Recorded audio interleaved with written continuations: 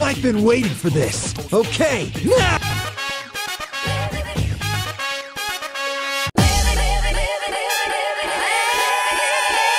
No, I have been waiting for this for a long time. Please, don't do this. This is our last chance, we have to give it an all-out attack. Okay, now! Ha! Did you see that, Shinji? You must be kidding. Well, I guess that's one way to go.